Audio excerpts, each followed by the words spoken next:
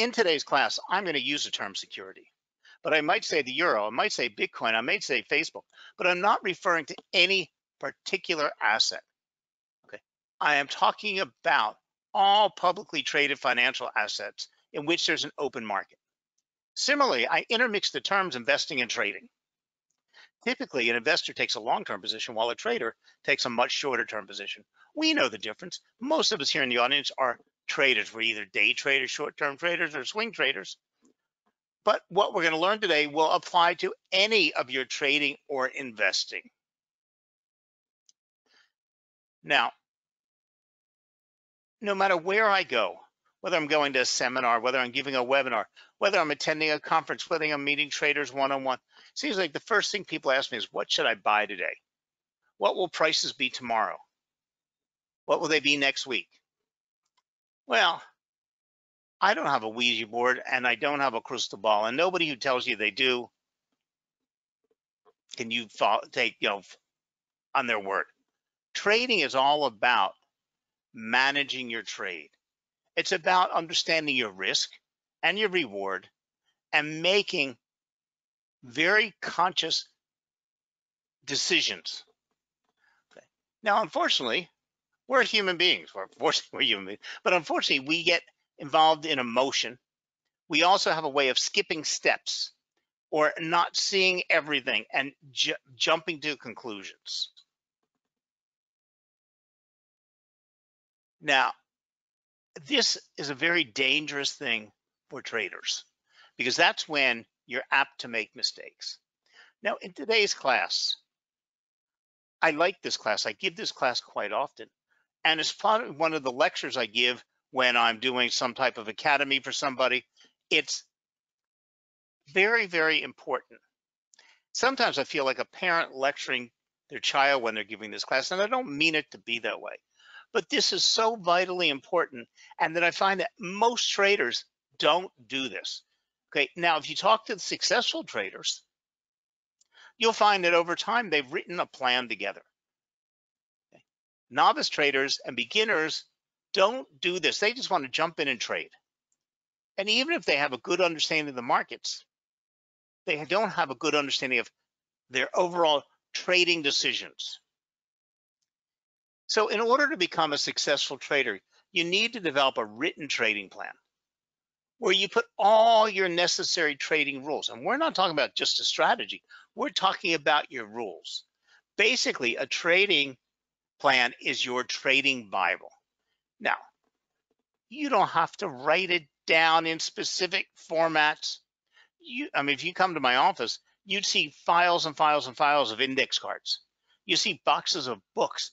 I've been writing this stuff down for years. But, you know, today we're all very lucky because we have PCs, we have the internet, we have Excel spreadsheets, we have all kinds of things that we can set up and sort and pull data around and keep track of everything for us. And didn't have that when I started trading. We'd put everything on index cards, and put notes down. Didn't even have sticky notes. We just had index cards, and this metal index file box and you'd have to put them in down with dividers in there. And when you wanted to find something you wanted to do or a strategy you tried before, a pattern that was reappearing, you had to go through all these index cards to find. Today, you can set up an Excel spreadsheet and track all of your trades, all of your strategies, all your adjust, everything. So when you see something reappearing in the market that happened, ah, you remember, you know what, last year the euro was down at 110 before, and I remember this happening, and you can go right there and see exactly what you did. Now, this sounds ridiculous, but the fact is, trading is about human psychology, and humans tend to repeat themselves over and over. Now, there is no such thing as an ultimate trading plan because there are no two exactly the same traders, and every trade has a different trading style, strategy, risk tolerance level, and market experience.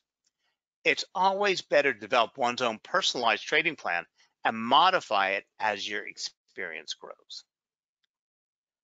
Now, this is where I end up losing a lot of traders because they say, or it's just the idea of all of this work, and then they get confounded to where do you go? So today I'm going to use the analogy of a guy who wants to open up a women's dress store in a mall. Okay. I don't know why. This guy has always imagined having this little shop in the mall. Okay. He's got a career. He's been working for 40 years. His kids are all finished college. His wife is about to retire. And this was one of the things he's always wanted to do. And he's walking through the mall one day. And here is the perfect location, and it's empty. Whatever store was in there was gone. There's a for rent sign, and something in his head tells him it's for him. He goes home and he does some rough calculations in his head. He figures he's going to need a hundred thousand, hundred fifty thousand dollars to get a, a, place open. He thinks about his inventory. He thinks about his sign. He thinks about you know odd and end things. Okay. Well, he's got an extra fifty thousand dollars in his you know rainy day account. He could take some money out of his retirement account. His wife will probably kill him, and she'll talk to him. He'll talk to her first. But he can borrow, probably get his parents to invest fifty thousand, his brother to invest fifty thousand. So in his head, he's got the idea he can do this. He tells it to his wife. She says, "You know, honey, you've worked hard all your life. It's your money. You want to do this? Go for it." So he calls his folks on the phone. They say, "Yeah, we can give you fifty thousand, invest fifty thousand in your shop." He calls his brother, and his brother says, "Yeah," and then his buddy says, "Yeah," and he's got all of his money now. Okay. I'm sorry if the story's a little long, but it does have a point. Now, he calls the the number on the the sign for rent, and he goes to meet the landlord of the mall. Now, the landlord starts asking him questions that he can't answer, financial questions. He says, you know, what do you think your annual turnover is going to be? What your revenue is going to be? And then as the landlord starts telling him, you know, how many hours he's got to be open, what the mall requirements are, what all the other payments are, what the insurances he has to carry, what money he has to put into his advertising, but how much he has to participate in mall activities and pay for for the mall advertisements and everything. well, the numbers are flashing through his head, and he doesn't. These are things he hadn't even thought about yet. Well, that's just like a trader all of these things you haven't thought of yet. But now he goes home and he's got to start listing them on his piece of paper. Okay. He calls the insurance agent, he calls the bank, he does all of his stuff.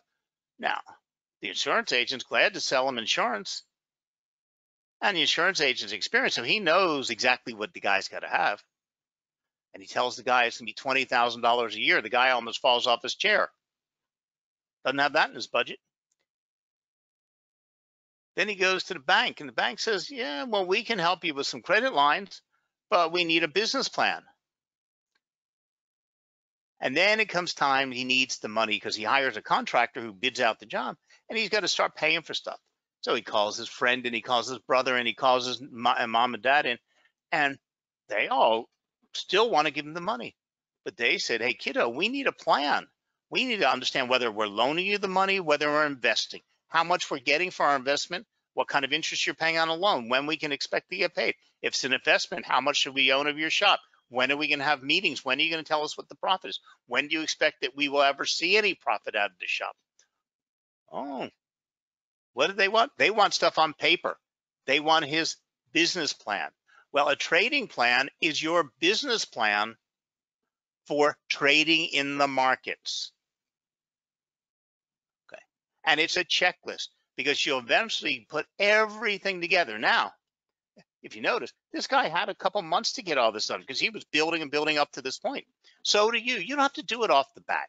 Too many people get freaked out when I talk about this because they think, ah, I can't even trade. I got to put all this on paper. It's going to take me forever. And then they give up on it. But you don't have to do it. Your trading plan is important, but you can build on it. You can keep adding on to it forever. But stop and think. Right now, if you've got an account open, you're going to open an account, you're going to go and make your first trade. You might have this whole strategy you studied with your buddy or you read about on the internet and you did some research and you got this whole plan. Okay. If oil does this and gold does that, I'm going to do this. Well, in your head, that plan is really nice. But when you put it on a piece of paper, you realize you left out a whole bunch of steps to get from A to B to C. But see, when you put it on paper, what are you're doing is taking that thoughts out of your head and realizing all of those things. Like I write a lot of content. I write a lot of videos, scripts for trading. And I find half the time I write video scripts, they all look fine uh, when I get them out of when I get them in my head and then get them on paper. But what happens is when I'm putting them together to put video and doing the getting ready to do the voiceover, find out they don't run smoothly to, for video. They run smoothly in a you know as reading content, but they don't run smoothly for video. Some lines are too long, some lines are too short. You can't fit in the the the screens in the back to fit everything you want with the screen, you know, the calls and and when you work it out, you tend to fix things. You tend to finalize things. You tend to find the mistakes. And it will be important. Okay. Now, there's a lot of components that have to go in this trading plan because it's not just your trading strategy, but that's the way to start. Start by writing down whatever first strategy you're going to use. Because, like me, I have about 25, 30, 40 different strategies, all depending on the market and the asset. Okay, so that drops into the center of your, your plan, but the rest of your plan doesn't change. Okay, like what hours of the day you're willing to trade, how many days a week can you trade? Because the markets are different depending on days, time of the day. Markets are different depending on time, the days of the week. A Monday market is much different, more different than a Friday market. The market when the Asian session opens is a lot different than the Asian European session opens, or early American market to the later American market. All of them have their own different personalities. So you have to first in your trading plan decide what assets you'll trade, what time of day you trade, how often you'll trade. There's so many people I see today online trading, they flip on their phone and when they walk, you know, they, they got 15 minutes in between meetings and office, they flip on their phone, they look something, they see a trade and they make the trade. No, that 15 minutes should have been spent reading about the markets, studying a plan, reading about a strategy, or analyzing your charts, not just randomly trading. Because when people come to the markets and they lose their money and they want to come back and scream, Forex is a scam, CFDs are rip Nobody's scamming you, nobody's ripping you off. You're trading with a well-known regulated provider. Well, they're just providing you trading opportunities. It's you that doesn't want to do the time and effort and is trading randomly. Okay. So you want to test your plan in the beginning to make sure you are on the right track.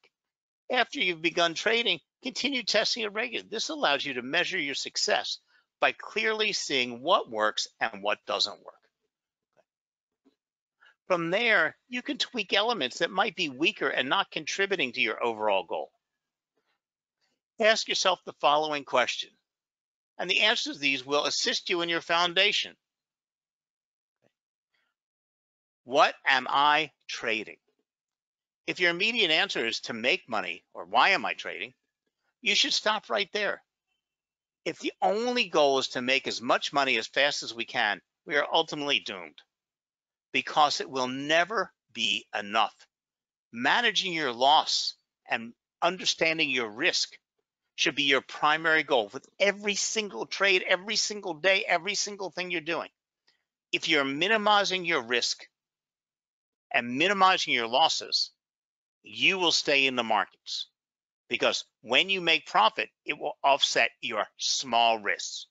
Because nobody, and I've been trading for a lot of years, since 1972, and I cannot trade consecutively over and over and over and over correct. And if I only tried to pick correct trades, I'd never trade at all. Sure, we're trying to use our strategy to only end up with high probability trades, but the market is only about human beings. The market is totally random. So when you have a good trade and you make profit, you shouldn't be paying it back to cover your losses. But now, if you have one good trade and three small losses and you net out a good profit, that's all that you can ask for. Okay. So once you've got your risk and your loss, you will have the environment to make profits. So where do you start? You should begin your trading plan with your trading strategies. So if you're trading price action setups, like I'm a price action trader, and I trade basically from support and resistance and chart patterns. That's it. Okay. This is how I trade. This is my preference, not yours. But you can be a structured trader. You can be advanced patterns. You can be off key levels of support. You can be a guy who trades off of a combination of indicators. Okay. You can trade based on stocks on, on earnings reports. Okay. You, you decide what you want to trade, but you first need to backtest all your strategies in order to find out whether they positive have positive expectancy, simply put, making money or not. Many trading strategies will work for you for a couple days, maybe sometimes a couple months, but they're not, they don't stand up the test of time because you might have, like right now, we have a really weird, highly volatile market with lots of risk off trading. Okay, this is going to take place over the, you know, it's been taking place for the last five weeks and it's probably going to go on for another couple weeks. So a lot of times the strategy will work through all this and then you'll keep on trading. And in June, July, and August, when the world's come back to normal, hopefully, you find out you lost all your money because that strategy didn't work in that market. Now, having written strategies with your risk tolerance and your money management is like having a market blueprint. This blueprint is essential for developing the discipline that will lead you on the road to success. So what you want to do is what are my strengths and weaknesses? You need to know yourself. Like I'm an unfortunately an emotional trader. And therefore knowing that I can control it. Okay. So how do I maximize my strengths to minimize my weaknesses? Once you decide on what type of trader are, and you can be a swing trader, you can be a day trader. For instance, if I get in four or five trades a week, that's a lot for me. Okay. I trade swing trades. Most of my trades last from one to five days. Okay. Sometimes two weeks, three weeks. Okay. I'm not a day trader. I'm not saying there's anything wrong with it. Now today with CFDs, there's a big difference between a day trader and a CFD trader. Now with CFDs, most CFDs close in the same day, but they don't have the rules a day trader has to have. Because like in the US, you have to tell your broker you're a day trader. Okay. And you have certain regulatory requirements as a day trader. CFDs can be left open as long as you like, as long as you can cover the, the, the swing of the markets and don't get stopped out. So you want to evaluate your needs and the effort required. Because you know what? If you're a guy with a full-time job and you're only going to trade two days a week or you're a weekend, I can do my research on a weekend, I can trade on Tuesdays and Thursdays. This is you. Okay. You need to figure out who you are and what you can do and put it down. You're not the guy who's going to trade Tuesdays because I don't have a date, and then Wednesday mornings because I don't have to be in the office till 11 o'clock, and I'm going to trade Thursday afternoons. And if I don't have anything going on over the weekend, maybe I'll do some studying, and maybe on Monday morning I'll make a trade. You'll lose your money, and you'll be gone. Then you have to decide, am I a fundamental trader or am I a technical trader? Now, none of us should be one or the other. But a technical trader means he uses mostly technical or charts and he pays attention to the fundamental news. A fundamental trader means he pays attention to the news, finds his trade, and then uses a chart for an entry and exit point. But creating a strategy using fundamental and technical tools is key. But first, we need to learn a little about each of these types. Some traders choose to use fundamental analysis to assist with their trading. This type of analysis is based on news. News can be considered anything ranging from economic, political, or even environmental events. As a result, fundamental analysis is much more subjective. Other traders may choose to use technical analysis to drive their trading decisions. This type of analysis is more definitive and relies more on math and probabilities. So you want to match your goals to your trading styles. Okay. Now, you know, if you go into the, you know, the online world and go search in Google, you can find a billion software programs for building a business plan and uh, not for building a business plan. You can download, you can buy everything, business plan in a box.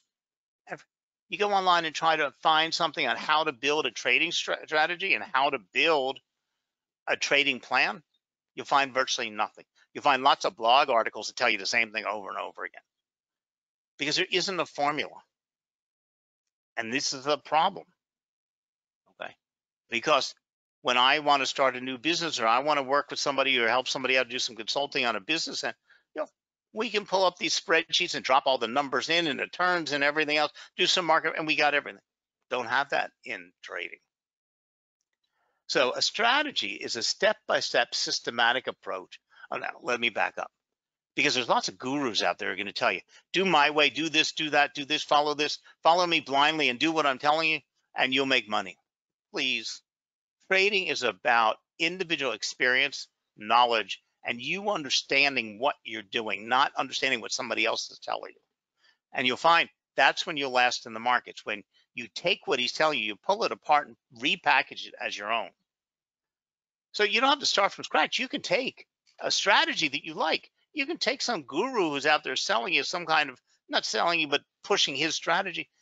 Take it, pull it apart, understand it, tweak it, test it, make it your strategy. So a strategy is a step-by-step, a systematic approach to how and when we are going to use tools, developing a sequence of analysis.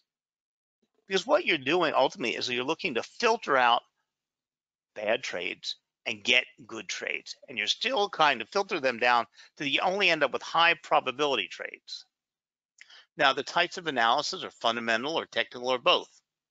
We want to decide what time frames we're going to work in. And all this is written down because it's not a flexible thing. You're not going to move from one day being a technical trader, next to be a fundamental trader, and the next day using half hour charts and five minute charts, the next day using one hour charts and 30 minute charts. Uh-uh. You need to set everything down in stone because this is business and you need to follow your rules. You have you can make your own rules, but you need to follow them over and over. And this is one of my downfalls. I have a hard problem with that. Okay. So before I ever push a button to open an order, I go back and check everything. And having notes on my walls and checklists make me go back and check.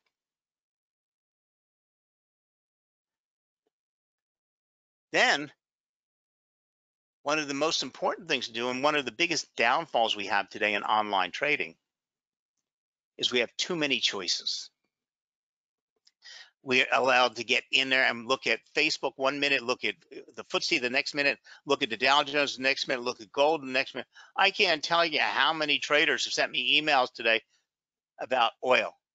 You know, it's made all the headlines and papers. They're thinking they can jump in and trade oil at zero dollars. Good luck. Yes, CFDs were looking for short-term positions, but oil jumped back up to $13 a few minutes later, and then it dropped down from 13 to $8. Well, $13, I mean, one of my best friends called me and said, I want to get into oil. I said him, well, you know what? The best thing to do right now is probably ETFs for your situation. Go find out who offers the ETFs, you know, in your locale, you know, with what, find a, a situation, a broker, an investment house. So he came back and said his bank is offering him. I said, okay, but they offer 20 different crude oil ETFs. You need to find out about each one, what they are, what the rules are, what the costs are, what the commissions are. He said, but I don't want to miss this opportunity. I said, the market always offers other opportunities. Just because you didn't trade oil at $13 and you thought it was going to go up to $60 eventually, well, it will eventually but can you ride out that risk when it fell to eight dollars? You know, it's the market volatility and understanding how much you can risk per trade and understanding your trades.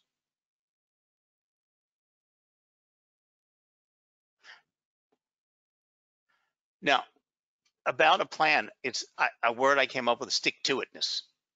You need to create a trading plan that's useful as it reduces the possibility of bad or irrational decisions based on emotion. Me, me, me, me. Okay, I'm admitting it, it's me. If you have a written trading plan, then you have a trading filter that will filter only high probability trading opportunities. It is important that to have a written plan because in order to keep a high level of discipline, you should read it every day. The key to discipline and objective Forex trading is to establish a trading plan where you put all your necessary rules and stick to it. Now, Today, with online platforms, half the stuff you have to write down is easy because every trade, when you opened it, what price you closed it at, what it did, whether you made profit, because you can just export that directly out of your trading account. But you need to have the notes because you need to put in put notes what strategy you used to do it, why you made this trade, how much you risked on this trade, because you want a history of it. So next year, when you see this happening again, you can go back and say, oh, I screwed up last year. I lost my money. And this is why I overlooked that. Now, if I ask 100 traders they will send me a copy of their trading plan, I guarantee you nobody ever will. I don't think in all of this time that I've been teaching, which is over 12 years now, that anybody has ever sent me a copy of the trading plan. Unlike business owners who generally have a business plan in order to provide a strategic vision to employees and to stay focused on their primary line of business, most traders never take the time to create a business plan. Now, let's go back to my friend who opened the mall, at the store in the mall. He did all this. He created his business plan. He got to the bank, got his line of credit. You know, got his money from his mom and dad and his brothers. He got everything. His lawyers, no, his lawyers, so God knows how much money, but he's got it all done. But now he forgot about getting a time clock. He forgot about getting the register program. He forgot about maxing and keep and uploading all of his inventory to his computers. He forgot about how many employees he'd have to hire, and he forgot about what he has to offer them, and does he, where does he get medical insurance? Where does he get disability insurance? And what is he going to use for a payroll service? He forgot all of that. Then now when he sits down and calculates the hours the mall told him he has to be open, and he realizes he has to open by nine o'clock every day and stay open till eight o'clock every night, he realizes he needs a lot of employees. And then he's going to hire lots, mostly college kids, and they're not going to want to work all day every day. They're not going to be full-time employees. How is he going to get them all? How is he going to keep track of them? What's how is he going to train them? That's beyond his business plan. That's the next step. Well, you know what? He opens up in time. He's he gets open in November. He gets all the Christmas sales. The store's doing really good. Everybody's patting him on the back. But come January, the stores and shelves are empty. And he looks in the back room, he's got no inventory. Because he didn't realize he's got to reorder inventory almost weekly because he's selling out of stock. And what he's got in the back, he's got lots of larges and no mediums and smalls. Because he didn't test what he was doing. He didn't keep on top of his business. He didn't learn. He didn't figure it all out because he was so busy on the floor selling and ringing up register and getting deposits and writing checks to everybody. He lost control of his business.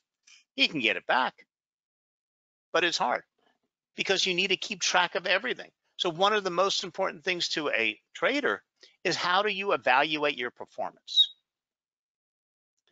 Now this is crucial. Now my rule of thumb is after every 10 trades, I stop everything. I cannot open a trade in my little plan until I've analyzed every single trade, make sure everyone's written up on my spreadsheets, make sure I have all the data and understand exactly what's happened. Then I can go on and make my next trade. Because like we were talking about my friend in oil, in our world, time is irrelevant. Trading is one of the few arenas in this realm where the space-time continuum is no relevance. First of all, it doesn't cost you any money leaving your money in an account. There's no monthly fees, there's no overhead, there's no electricity, there's no insurance, there's no employees, there's no nothing. Your money can sit there. And the world of finance offers trading opportunities by the ton. So it's not like you're going to miss this one opportunity today because you've been busy doing your analysis and there's going to be no opportunity tomorrow. There's always opportunities. So those of us that have been trading for some time know that one year's stellar trading performance can be wiped out by a month of bad trades, time the market moved against you. The way to address this is tracking your performance is to create a set number of trades. Now for me, that number is 10. It doesn't have to be the same for you, okay? You just have to determine what it is. This applies to both my swing trades and my day trading. On the average, it takes me about three months to place 10 swing trades and about four days to place about 10 day trades. I only mention this time element so you see how long it takes me to place that number of trades. And I will live in this market 24 seven. So what is the number of trades you will use when evaluating your trading activity? Now, what met metrics will you use to evaluate your trade? It's not did I make profit, did I not make profit? It's first question is did was this a good trade or a bad trade? A trade that you lost money on is not a bad trade. A trade that went against you and you stopped out intentionally at minimal risk could is a perfectly good trade. A trade that made you profit and you were expecting 25 pips and it made you 60 pips, made you really happy. But that was not necessarily a good trade because maybe you did some wrong evaluation because you didn't see the 60 profit possibility, you only saw the 25 possibility. And remember, identify the assets you are wanting to trade. Okay, I have started to mention this before. In the world of online trading, you can be everywhere. None of us can spend the time understanding and getting into what Facebook is all about and what its numbers mean, while at the same time trying to track what's going on with the euro, at the same time trying to happen what was going on with HSBC, at the same time trying to figure out what's going on with Bitcoin. Can't do it. You can't physically do it. Okay? Can't mentally do it. What you should do is find a small range of assets that have some correlation. Like me, I predominantly trade the euro, the euro dollar, the euro, the dollar pound, the dollar with Swiss franc. I trade the Australian dollar now and then, but that's it. I, I say very limited because I can spend my focus, my time, and my efforts staring at these. I understand their personalities. I understand what the expectations are. I can remember what they did last week, last month, two months ago. I remember what they traded last year. When you're trading hundreds of assets all over the place, you can't remember if you traded gold last year when it was 1400. Do you remember? No, you can't because you were all over the place. But goals are very important.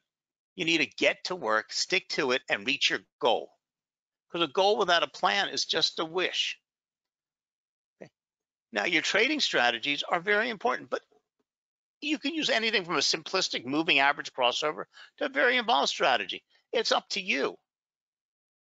But things like First thing I do every morning is I look at my support and resistance levels. I look at my trend lines. I look what the assets are looking at. I look at my charts. I'm not even thinking about a trade.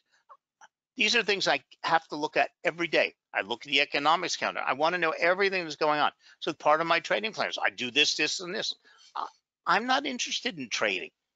If you find your satisfaction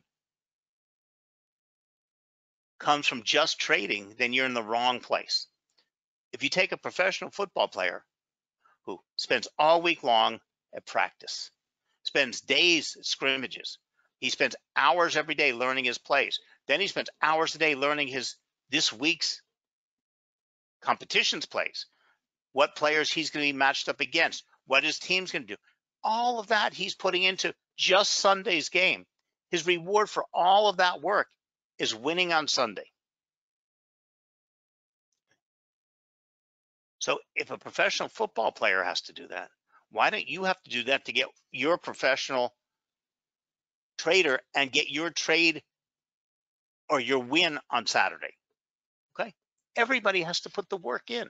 But when you do, you will find you can be successful. Okay.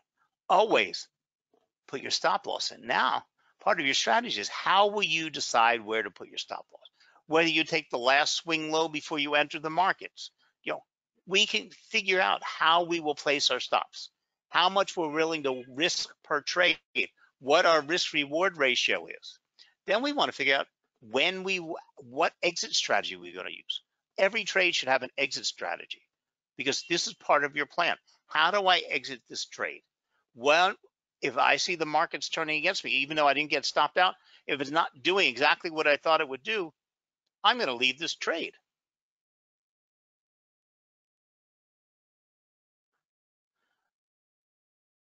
So, and lastly, or one of the most important things is how much money can I invest per trade and how much will I have in the market at any given time? I've had guys that tell me, ah, I don't, I never have risk more than $500 per trade. But he's got 20 open trades. That means he's got $10,000 in the markets. The markets go sour, what, like when we had the the coronavirus scare, all the markets went sour, everything went tumbling. The volatility was so crazy, everybody's getting stopped out everywhere. Well, guess what? He could have lost his shirt because he didn't have $500 at risk. He had $10,000 at risk. So you have to figure out number one, what I'll risk per trade. How many trades can I have open at any given time? And then one of the last key factors, when do I take breaks? Now for me, after every 100 trades, we're not talking about vacation. So I do my evaluation after every 10 trades and after 20, 10 times of doing those evaluations, guess what? For the next two days, I don't turn on my computer. I don't go to my trading platform. I stop and clear my head. I don't, I'm not going on vacation. I'm not stopping to work. I'm just not following the markets because what I'm doing is I'm taking a breath and I'm taking control of the markets back. Like I said, this is not vacation. It's not a holiday time off.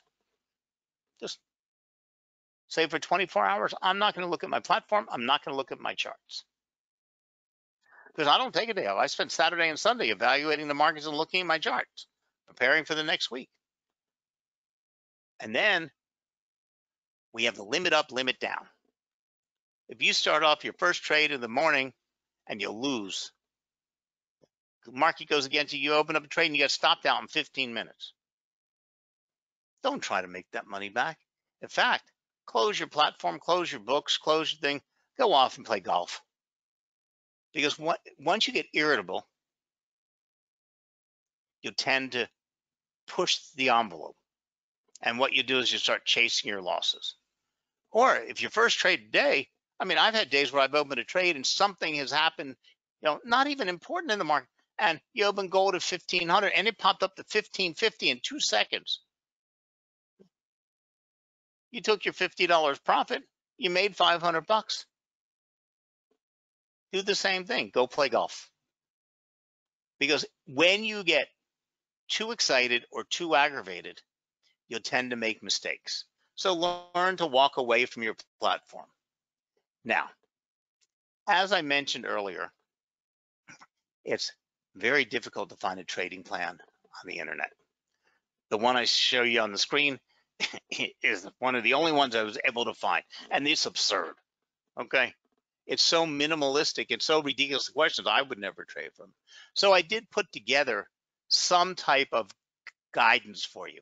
So if you look on your screen, you'll see a handout that says combined trading plan handout. Okay. It's just a whole bunch of notes and guides and information that might help you get started in the right way. Just click the download button. There's nothing you have to register for, nothing you have to pay for, nothing you have to do. It's just there. It's a PDF file. Download it. I also gave you a very good strategy that you might want to start out. It's all written out for you. And you might want to start with this if you don't have any strategies developed. It's a good strategy to start building your strategy from. So click the download buttons and download them now because you can't get them after the live class. You can only get them in live class. And like I said, there's nothing you have to register for. They're yours. Put them on your mobile device, put them on your, your, your, your tablet, and you can move them around wherever you want later. There's just PDF files. And if you do have any questions, you want some guidance, you want some help, go to LegacyFX, www.legacyfx.com, and click on the chat now button or send them an email, and they'll give you a one-on-one conversation with a financial analyst who will help you along the way. And what you can do in the meantime is go to www.legacyfx.com and download their MetaTrader 5 platform in demo mode and start using the demo mode and testing out your ideas and writing them down and start building your trading strategy from there. So thank you very much for joining us. I hope you're all safe and sound. You know, the world's a crazy place at the moment, but this is a time to put your time and energy into learning. And this is the perfect time to start writing a trading plan because you have nothing, most of us have nothing but a lot of extra time at the moment. So thank you very much and best wishes in the marketplace. Bye now.